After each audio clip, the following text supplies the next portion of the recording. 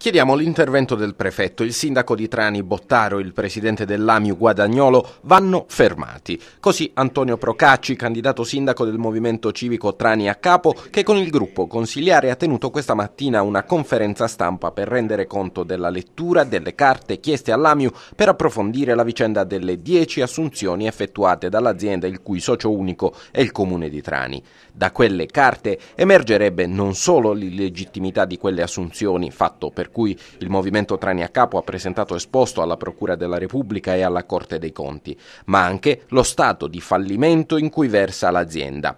L'Amiu è già fallita, dicono i rappresentanti della lista civica. Ad ottobre era stata chiesta la ricapitalizzazione e il Comune aveva deliberato di effettuarla entro il 31 dicembre, ma quei 7 milioni di euro indispensabili per rianimare l'Amiu non ci sono. A fine dicembre anche l'amministratore unico dell'AMIU invocava la ricapitalizzazione entro 90 giorni. Al 15 febbraio però non è stato nominato neanche l'advisor per procedere a questa ricapitalizzazione.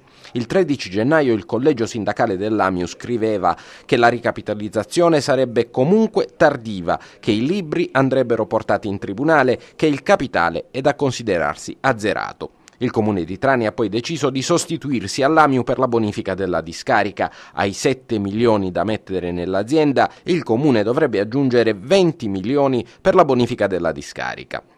Il comune non troverà mai questi fondi e intanto fa assunzioni illegittime. Quelle del 30 dicembre, 10 assunzioni, non potevano essere fatte prima di tutto alla luce della situazione economica dell'Amiu, ma anche per difetti procedurali. E loro ci tengono nascoste tutte queste cose. E il collegio sindacale afferma quello che noi, e voi ne siete testimoni, diciamo sin da, abbiamo detto ad agosto ma ad ottobre abbiamo fatto una conferenza stampa, il sindaco ci ha detto in quella conferenza stampa che noi abbiamo strappato dieci testi giuridici.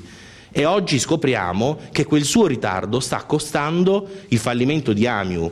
E in una situazione di questo genere, con una società che il collegio sindacale dice chiaramente che non può compiere alcuna operazione, alcuna operazione perché la società è praticamente sciolta, non è in grado di compiere alcuna operazione, loro che fanno? Assumono 10 lavoratori a tempo indeterminato e peraltro con delle motivazioni su cui francamente se non ci fosse da piangere ci sarebbe molto da ridere. L'AMIU dal 2013 per assicurare la sperimentazione della raccolta differenziata ha chiesto a due agenzie interinali 10 operatori all'anno. Le agenzie interinali hanno chiamato sempre le stesse persone mettendole nelle condizioni di sostenere di aver avuto un rapporto diretto con Amiu.